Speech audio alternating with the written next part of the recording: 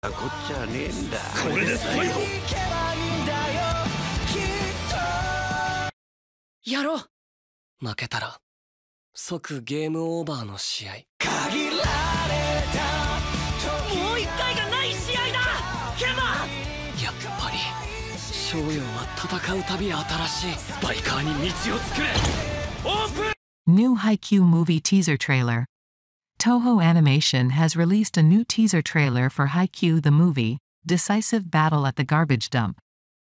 The movie will hit theaters in Japan on February 16th, marking the return of the beloved sports anime after almost four years since its last season.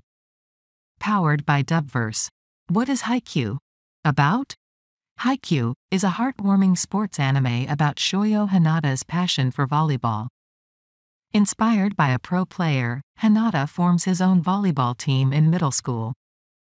Despite facing challenges, Hinata is determined to surpass his rival Tobio Kageyama, who joins him in high school.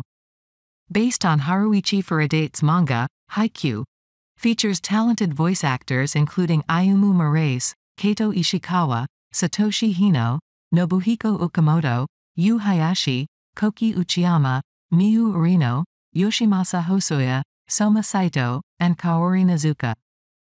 While it's uncertain if Production IG will continue the anime with a fifth season, fans can look forward to the release of Haikyuu the movie, Decisive Battle at the Garbage Dump. Toho Animation may also unveil more surprises for Haikyuu enthusiasts in the future.